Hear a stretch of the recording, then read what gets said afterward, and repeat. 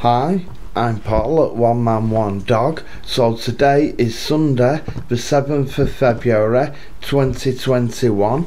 It's R3 in Right, so here we have a Kaabo Mantis Light Plus and it's a rear wheel drive 800 watt and it's just one single motor and it's 48 volt think it's 18.5 amp hours. Anyway I've not been able to use it because the weather's been that bad in Manchester in the UK and we've had loads of rain constantly having loads of rain and today it's not raining but it's attempting to snow so rear suspension. Front suspension. Anyway can't use it because of the wet and here we've got a Yedoo 5 kick scooter. I've had this in my past converted as an e-scooter with a thousand watt Voilamart front wheel and I stripped it and I was going to sell it but I think I'm going to convert it again. Give me something to do over these winter days and give me something then I can ride at the end of it if it's raining. So the thousand watt Voilamart wheel really it's thousand watt but that's just a controller. The wheel itself is actually 1500 watt. I'm in a Voilamart Facebook group and people are fitting 2000 watt controllers on them and 1500 watt and Voilamart themselves do a 1500 watt controller.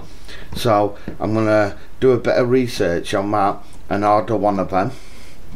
So it'll take a bit this video to make. Um, because I've got parts to order and yeah I'm gonna make a start on it today. I'm not sure what I'm gonna do. I might change the tyre on the rear wheel and fit the chunky one on the BMX tyre 20 inch.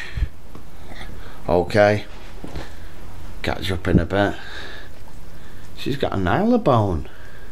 What have you got right so I want to fit a wooden footboard to it when I convert it. So I want to do a proper job this time and that's not wide enough. Then three bars for the standing platform needs to be a lot wider. You get better balance and stability.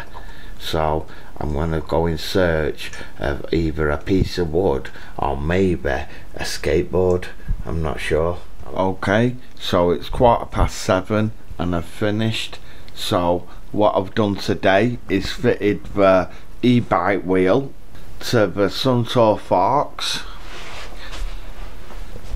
I've put an extra spacer in there because the gap was different but I need to sort that out. This is the cap isn't right so it's a millimeter or two millimeters above what it should be. So the forks are stiff. So they need sorting out. Can't remember how I did it last time but that's it for today. And I'm just looking at the Voilamart 1500 watt controller and it comes from China so I think I'm going to order that later. It's interesting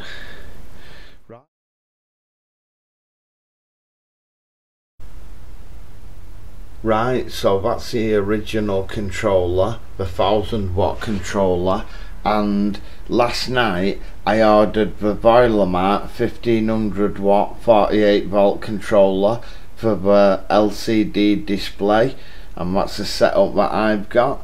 So ordered that, it was £45, free delivery, and it comes from China, even though the website Voilamart is in the UK it says on it when you order it it comes from China. So I've got an email and it's just saying that they'll send tracking numbers when it gets posted or a tracking number. So just got to wait on that to come. So I'm going to do a few other things today. I'm going to change the back tyre and I'm going to get the battery out and see if I can get it to fit but a really secure fit. So that's what I want to do today okay here we have a Michelin Mambo tyre and I don't know if you can see but it's 20 by 2.125 or 2.1 so I'm going to fit it on my back tyre loosen my brake and near enough open my brake so the tyre will fit. And it's quite a simple job really. So I'll catch up when I've done that okay so it's 20 past 4 and my Michelin Mambo BMX tyre has been fitted 20 inch 2.125 move your bum. Typical. Stands in my way. Okay so that's it. As you can see nice chunky tread. Simple fit. Just needs pumping up bit of air in it come on you move. Look she won't move out of the way. Right okay I'm gonna go and dig the battery out of the bedroom. Um, I've got it in storage somewhere. Come on watch out. And it fits on here. Okay catch up in a bit. Okay it's 10 to 5 and I found my battery. So this is a battery 48 volt 16 amp hour Hailong cost 190 I think off eBay the other year. There's a plate it goes on and my charger. Okay I'm gonna make a brew and then I'm gonna try and fit it. Okay? Right okay. It's now quarter past seven and I found the rubber supports that I used last time to keep this plate level. Got to be level when you screw it in or you can't get the battery on so I've got one screw there. I need to find another that'll fit in there. Um, and I've been looking everywhere and I can't seem to find one. So I'm gonna have a look later but I think that's it for today. So it's been day two. Right okay. So I'll catch up with you tomorrow I think now. Um, it's been a long day and I've done enough okay